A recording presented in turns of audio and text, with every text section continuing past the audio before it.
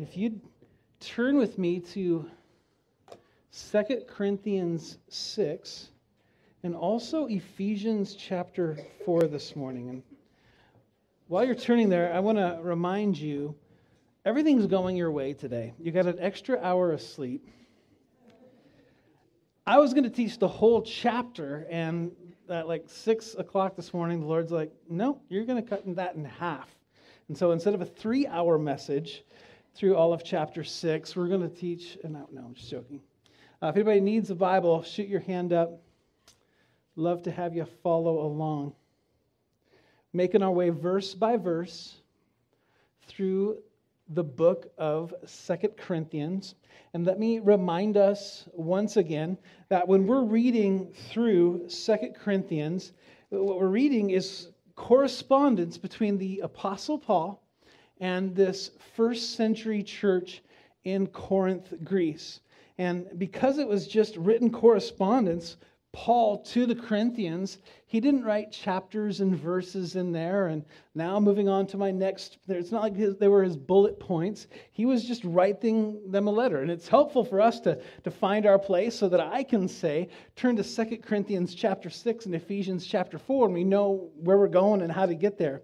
But this was a letter. And so chapter 6 of Second Corinthians begins right where chapter 5 le- left off. And so in chapter 5, Paul had said, just to set some context again, he had said that if, if we have been reconciled to God, then we're no longer God's enemies. Instead, we're new creations in Christ. And then he says, if that's the case, if that's taken place, if we've been reconciled, if we're no longer enemies, if we're new creations, then we have been given a ministry, a ministry of reconciliation. And now let's look at Ephesians 4:11, and then we're gonna we're gonna head back to chapter 6. But I want to look at Ephesians 4, verse 11 and 12. It's just a little bit to your right if you're not there yet.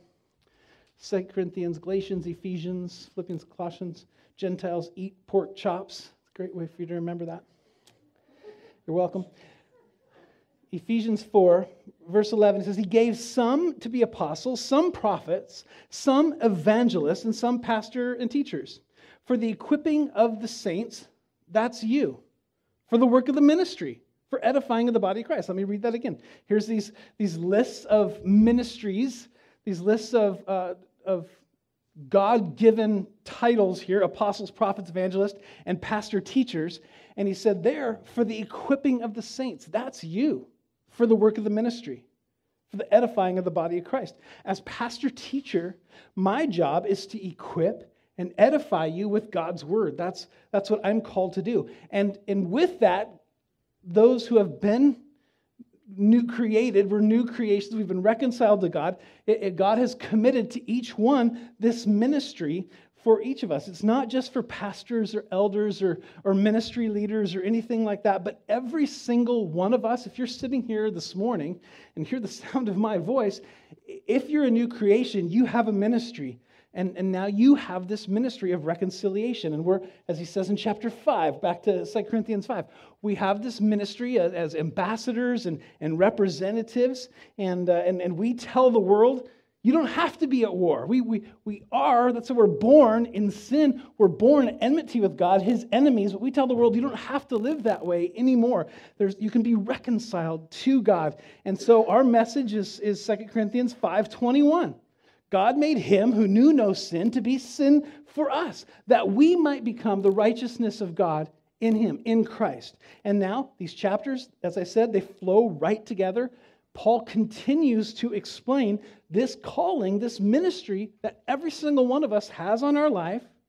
Not only are we ambassadors for the Lord, he said we're workers with them. He says, We then, as workers together with him, we're reconcilers and ambassadors, also plead with you not to receive the grace of God in vain. For he says, in an acceptable time, I've heard you, and in the day of salvation, I've helped you. Behold, now is the accepted time. Behold, now is the day of salvation. Now, as we dig in here, his plea, Paul's plea to the Corinthian church in verse 1 here is not to receive the grace of God in vain. That's an interesting thought. that God's grace can be received in vain. Vain means empty. It means without substance. To take the Lord's name in vain needs to use it without meaning behind it. You're just throwing it out there like, a, like, it, like, it's, like it's profane, like it's common, as we said before, like it's not holy. We're not giving it value. Grace means getting what we don't deserve. And so there's a sense here to to receive the grace of God in vain, there's a sense in which he is speaking about salvation if we put it off and we're just going to deal with it later and it's not really a priority. Like the time that Paul spoke to Felix, he was on trial before Felix in Acts 24. And, and Felix was very interested in the gospel. He really had perked his interest. But he said to Paul, Go away for now. When I have a convenient time, I'll call for you. And in that way, it's grace in vain because there is this sense of urgency that today needs to be the day of salvation because tomorrow isn't promised to any one of us. The Bible says that our lives are, are like a vapor. Hebrews chapter 3 says, Today, if you hear his voice, do not harden your heart as in the day of rebellion. And so, if you're here this morning and you're not a follower of Jesus Christ, this is the portion, portion of the message that's for you. Everything else is going to be for believers, those who are called into this ministry of reconciliation. But if you are not in a relationship with Jesus, today is the day. Today is the day of salvation. Don't put it off. You're not promised one more day. Don't wait till you're 18 or graduated from college and you had a little fun or when you're married. Let today be that day. Don't have this grace of you hearing the message how God made him who knew no sin to be sin for you, that you might have the righteousness of God in him. Don't let that go by without accepting it. That's the grace. But what he's really speaking to primarily here is those who have been saved. He's writing to the church in Corinth, and the grace that they or we are in danger of receiving in vain is grace that is not only received, but it's not being worked out in our lives in ministry. Because we're all called to the ministry. Now, Paul said in 1 Corinthians 15:10, if you take notes or you write in your Bible, I'd jot that down right here. Paul says this in 1 Corinthians 15:10. He says, "The grace of God, by the grace of God, I am what I am. And his grace towards me, Paul says, was not in vain. It wasn't without substance or use. Paul said, that didn't happen to me. But he says, instead, I labored more abundantly than they all, than, than other ministers, yet not I, but the grace of God which was within me. And so Paul's plea to the, the church in Corinth and the church in Ellensburg is that not that God would help us in what we're doing. Come on, God, let's go. Let's you can hop on. We're, we got some ministry ideas and some programs we're going to do, but but that we would work with Him, that we would work with God. And so to be a new creation, to have this reconciliation worked in us, and to not be an ambassador, to not be ministering in reconciliation with those that God's placed around you, that's to receive the grace of God in vain. To just, I'm saved, but I'm not going to tell you how to be saved. I'm not going to let you learn how to be reconciled to God. And so I don't have a slide for this, but the title of my message is Workers with God. We, are working with God. But we could say, here's an extra one. There's going to be more slides later, but there's an extra one, a freebie. Slide one could say, Workers with God are ministers in grace.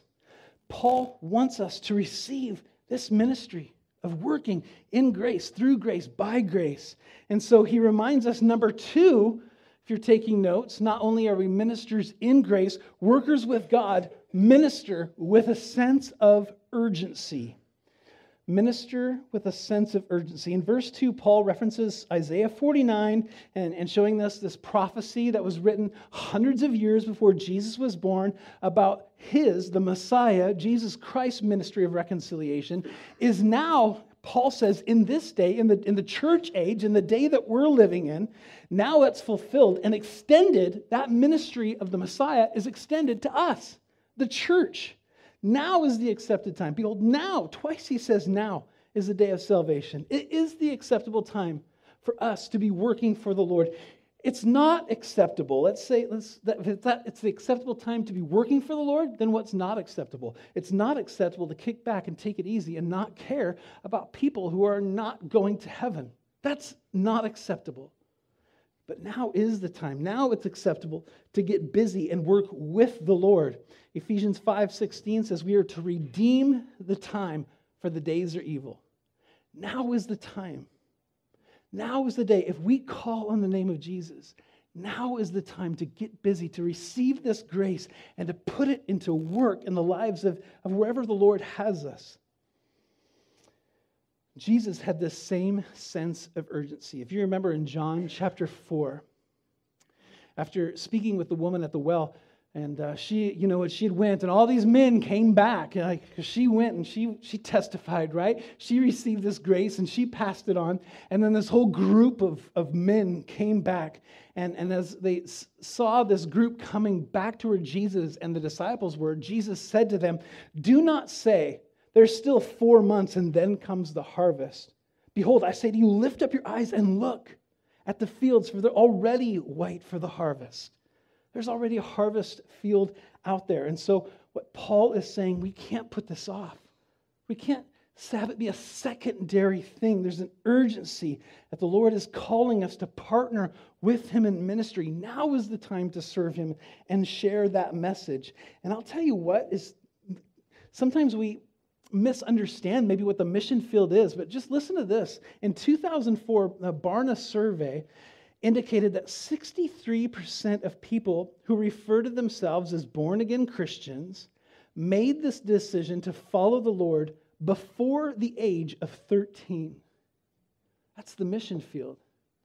Yeah, maybe it's these guys that have heard from someone else that are adults, but 63% in our world, it's kids, it's children.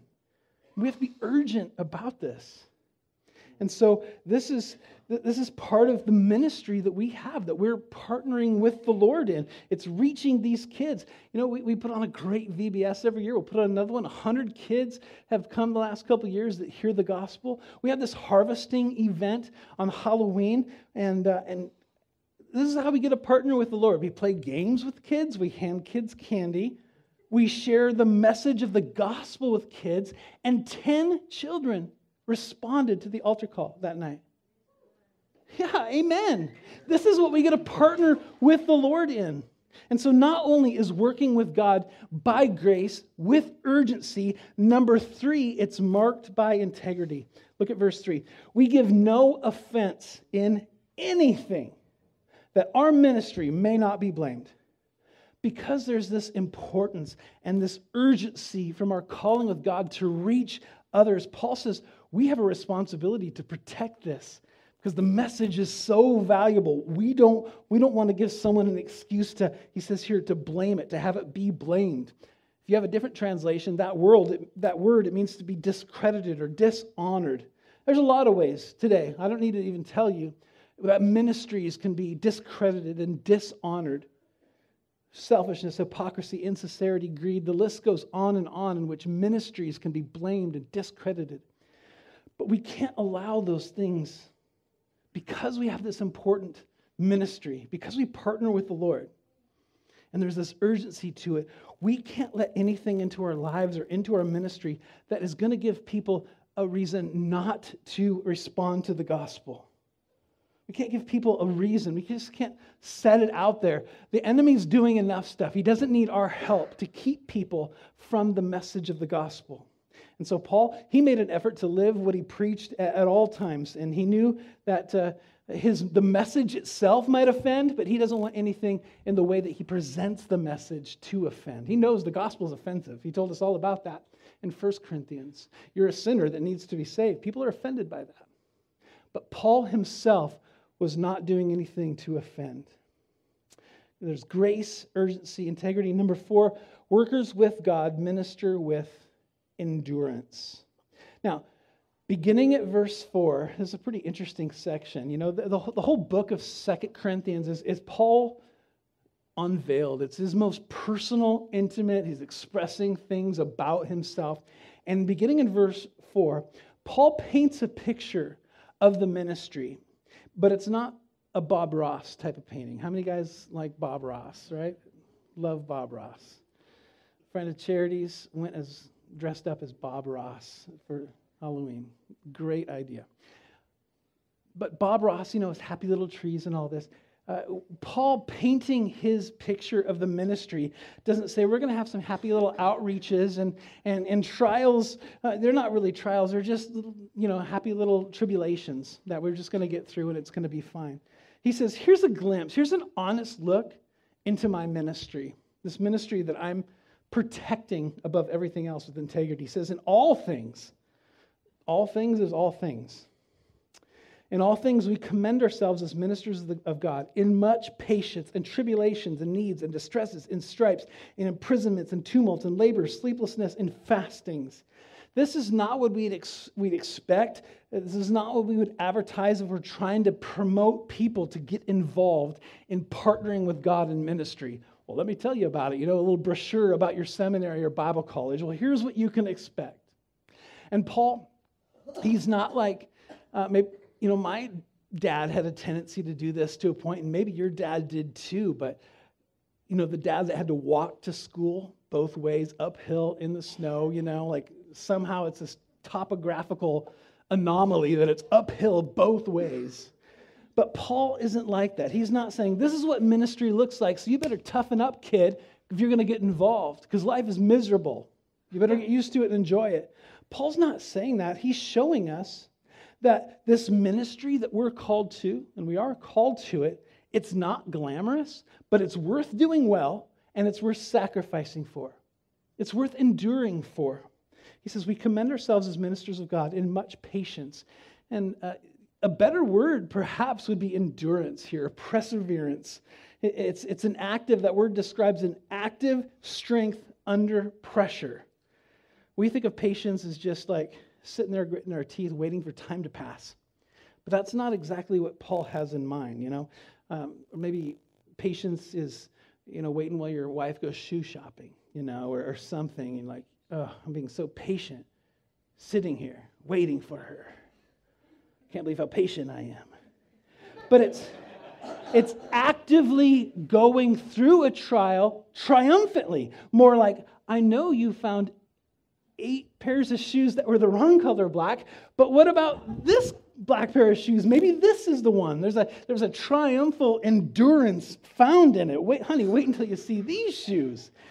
But far more than shoe shopping that Paul is describing, Paul lists nine trials that he endured in ministry. The patience is how, the endurance is how he dealt with them. But he faced three different categories here. And we could say there's general difficulties of life, tribulations. The word means afflictions, pressures. Second, he lists needs it's hardships, discomfort, pain. Third, distresses. Literally, it means like narrow, tight spots where you don't know where to turn. You're just, you just, I don't know, I've tried everything. We're just, oh, it's just so frustrating. I don't know what to do. There's just, just stresses. So there's general difficulties in life. Then he faced external challenges. Fourth, he says stripes. Later in the book of uh, in the book, Paul's going to tell us that he was whipped five times with a whip, and then beaten with rods three times. Eight times he was beaten. Fourth, or I think fifth, he says, uh, in, in, jail time. I, have I've spent time behind bars. This isn't a reality for us, but it's a reality for much of the Christian world today. That's still a possibility. That's the world they live in. Sixth, he says tumults. Really, it's like it's like riots or mobs. It's like Black Friday gone wrong, you know, where everybody is turning against you. You have the only TV, and now it's worse than that. But Paul's saying all this happens. And then he says, not only are these general difficulties in life and these external challenges, he says, I even put myself through private disciplines. Seventh, he says, labors. I work hard. The ministry is worth working hard for, so I work hard. Eighth, sleeplessness. Ninth, fastings. I'm burning the candle at both ends. I'm skipping meals. I'm doing what I have to do. Anything that I have to do to advance the cause of the gospel, I'm going to do it because I, that's more important than my well being. Now, we probably, these nine trials, we're not going to face all these different trials. Uh, very few trials are the same, but trials always require endurance. Even the trials that you're facing right now requires endurance to go through. But notice he endured because he was equipped. Number five, workers with God are equipped. After he lists this, I love this sort of thing. He lists nine trials in ministry that he's endured. He now lists nine resources, nine ways in which the Lord worked in his life in the midst of those trials that helped him endure. He says, by purity, or you know, we could maybe say sincerity, without hypocrisy. Just, hey, this is how I got through this. Yeah, it's just a, a sincere, man, I didn't, I didn't have mixed motives or any of that by knowledge. He understands what God's purposes are and what the enemy's intent is. That helps him get through trials and difficulties. By long suffering. It means putting up, in the most literal sense, putting up with hard people, putting up with difficult people. Anybody have a difficult people in their life? Don't answer that. By kindness. Regardless of how he was treated, he responded with kindness. And then I think the key to this whole list by the Holy Spirit. Really, all of this is fruit of the Spirit working in, in, in, in his life. By sincere love. Word is agape, it's selfless love, the highest form of love. By the word of truth. How do, how do you get through that? How do you endure? I understand what the book says. I understand what truth is. This isn't a secondary thing to my Christianity. He says it's part of what gets me through the trial. By the power of God. God met him when he found when he was at the bottom of his barrel, you know, at the end of his rope. That's where, where God came, when he had given all, when there was nothing left. It's, it's Ephesians 6, you know, be strong in the Lord and the power of his might. It's not me and my own strength, it's what God's done in his strength. By the armor of righteousness on the right hand and on the left. He understood this is a spiritual battle. And I'm, I'm dealing with real people, but this is a spiritual battle. And so he took up the armor of God. And, and when it says left and right, uh, most commentators say that this is an, an offensive uh, and a defensive. You know, he's got the, got the shield of faith, and he's also got the sword of the Spirit. You know, I'm, I'm, I can deal with these trials because I'm, I'm got both things going on. And so workers with God are equipped. There's these great challenges, these tribulations that, and he lists off for him, it's imprisonment and torture and all that. But there's a great answer to those challenges. And I think one of the um, one of the things that we do is, is we focus on the trials and not the resources that we have. But Paul, he's got nine and nine, man. There's a resource to meet every every single trial that I'm facing. And it's not, I'm pretty sure it's not that Paul just, you know, tightened his jaw and like, oh my God, I'll show you if it kills me. His endurance came from dependency on the Holy Spirit. All these things, they're, they're fruit. They're, it's the ministry of the Spirit working out in his life. And so that when he's jailed in the book of Acts, when he's imprisoned, he can respond with kindness he can, when he's jailed, he can endure that thing. When he's, because of the Spirit working in his life, when he's jailed, he can serenade the other prisoners at midnight, you know, him and Silas singing away. That's only the Spirit. That's not him saying, I'm just going to try really hard. Now let's sing a song, Silas. No, man, the Spirit is just working in him. It's real. I'm in jail, I'm in prison. But God met me even there and I'm going to praise Him for it. No matter what our challenges, we have these same resources available to us. Now, verse 8, Paul goes on to describe the incredible ups and downs in ministry, this paradox that the worker of God deals with. Because sometimes, you know, people get the idea, and I hear these jokes all the time, and I know most of the time it's a, it's a joke, but uh, you only work one hour a week, you know, that sort of things. And sometimes people, that's what they think ministry is, that it's a cakewalk. But listen to Paul's synopsis of ministry. Verse 8 by honor and dishonor, by evil report and good report, as deceivers and yet true, as unknown and yet well known, as dying and behold, we live, as chastened and yet not killed as sorrowful, yet always rejoicing, as poor, yet making many rich, as having nothing, and yet possessing all things. Workers with God are mis number six are misunderstood by men but known by god. This ministry thing and just to clear it up i work more than an hour a week okay? I teach on wednesdays too so it's two hours a week but this ministry thing is just there's a back and forthness to it and my wife will attest to that highs and lows one day my god can move a mountain next day oh god i'm scared where are you right now? I need you to show up for me so bad. This is where Paul lived. This is where the worker with God lives, balancing the here and now that we're in with our future eternity, balancing the promises of God with the frailty of humanity. Now, it's been said that if you want to find gratitude, the best place to look is in the dictionary. But Paul looked to the Lord. And so he was dishonored. We just go through this whole list. He was dishonored before men, stoned, eight times beaten, you know, with whips and rods and all that. But he also knew, even though I'm feeling that and I'm dishonored and spat upon and rocks thrown at me, I'm dishonored by men, I also know that I'm honored before God. I'm serving a holy, righteous, sovereign King of all creation. And he knew that people would say some vile things about him and to him. Maybe say he's brainwashed. Who knows, you know, the things that Paul dealt with that people said about him. But he also was living to hear Jesus say, Well done, my good and faithful servant. Enter into the kingdom. He knew that he wasn't making it rich. He wasn't in the ministry to get wealthy, support himself, making tents.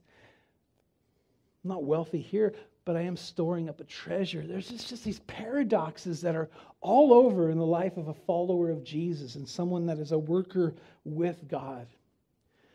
Now, to come full circle, I was going to finish the chapter, but please come back next week. I'm super excited about next week, too. Super excited about that. And you're looking ahead as like, you're excited about being unequally yoked and all that? Yeah, I am. Come back next week.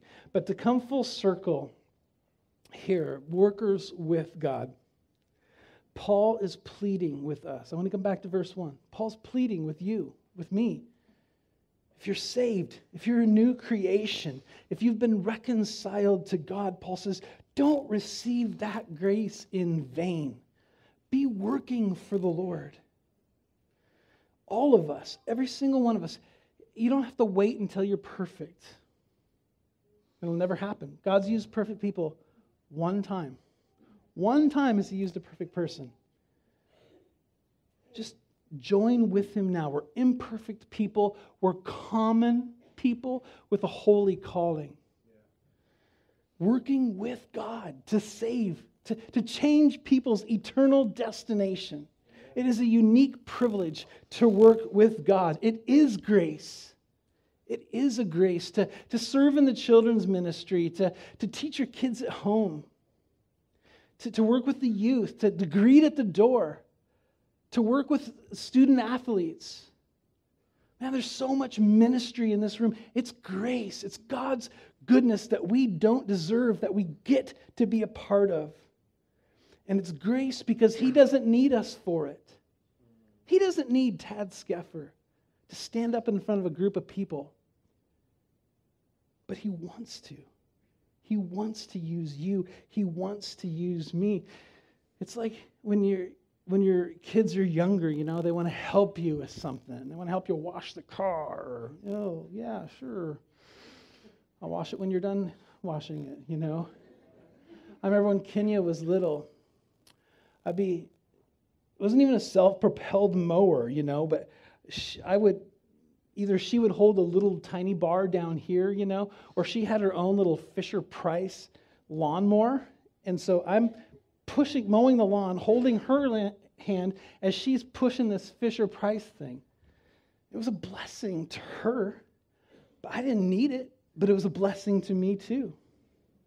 It was a blessing for me to have that relationship with her. And just skip down. I'm not going to teach the rest of the chapter, but, but look at verse 18.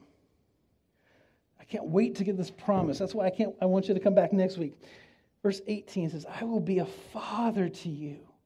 You shall be my sons and my daughters, says the Lord Almighty. It's a blessing to participate with our Father, even if He doesn't need that.